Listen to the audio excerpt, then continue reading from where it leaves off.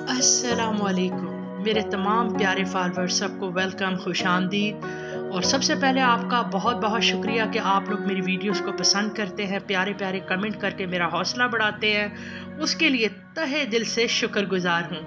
Video skip ना कीजिएगा, बहुत अच्छी इन्फॉर्मेशन है, बहुत ही प्यारे नज़ारे आपको दिखा रही हूँ। ये है सासुरों की मलिका वादी सीरन।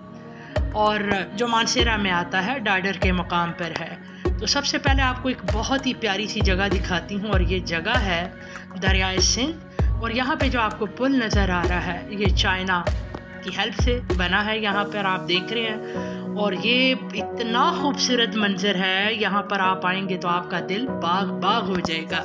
और जो मेरी बहनें, बेटियाँ, जो कहती हैं कि हम अकेले सफ़र नहीं कर सकते, हमें डर लगता है, हम कैसे आएँ?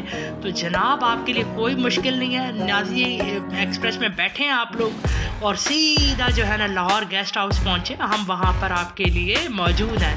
मेरे साथ शहराज आलम, जो बिग बॉस हैं, हमारे साथ हमारी सीनियर मैडम जो है, वो है यासमीन कैसर और मैं हूँ आपकी यासमीन सहर तो हम तीन लोग हैं और इसके अलावा हमारा बहुत ही प्यारा, ज़बरदस्त किस्म का स्टाफ आपकी खिदमत के लिए मौजूद है।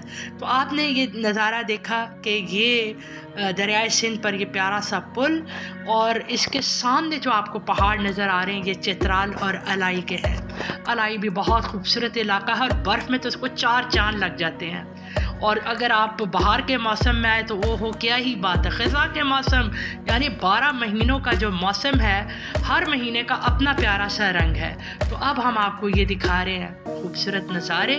आप ये देखें कि सासुरों की मलिका वादी सीरन बर्फ़ से जो ढक चुकी हुई है और इसकी जो खूबसूरती है बाय गॉड आप दाद दिए बगैर रह नहीं सकेंगे। इतना खूबसूरत ये इलाका है।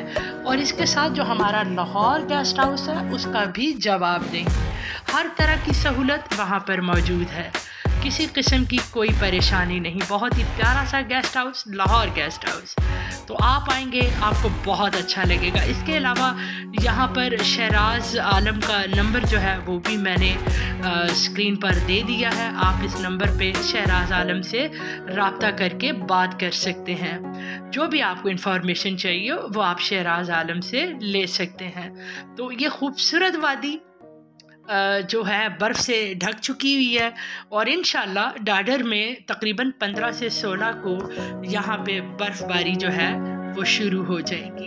बाकी मकाम पर बर्फ़बारी शुरू हो चुकी हुई है। इतना खूबसूरत इलाका सयाहों की नज़रों से ओझल, ये इस इलाके के साथ नाइंसाफ़ी है। तो मेरी तमाम टूरिस्ट कंपनियाँ जितनी भी हैं, उन सबसे गुजारिश है कि इस इलाके को उजागर करें और यहाँ पर सयाहों को आप लोग लेकर आएँ। यह इलाका भी कालाम से नारायण कागान से कम नहीं है।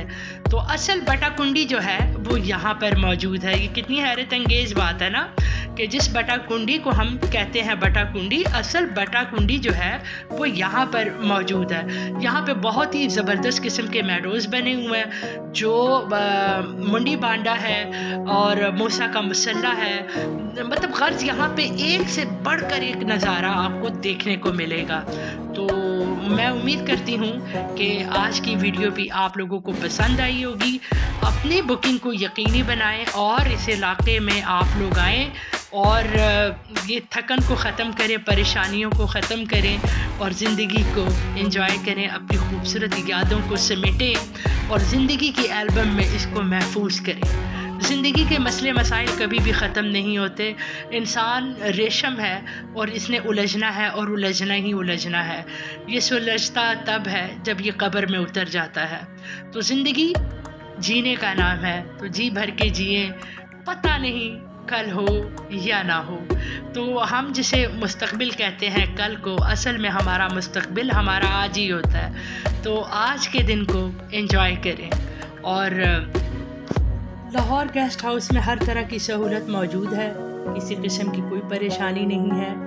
आप लोग आएँ और मुझे बताएँ आपको मेरी आज की वीडियो कैसी लगी। उम्मीद करती हूँ आज की वीडियो आपको पसंद आई होगी। इसी के साथ ही आप लोगों से इजाज़त चाहती हूँ। अल्लाह हाफिज़। टेक केयर इन फिर किसी नई वीडियो के साथ आपकी खिदमत।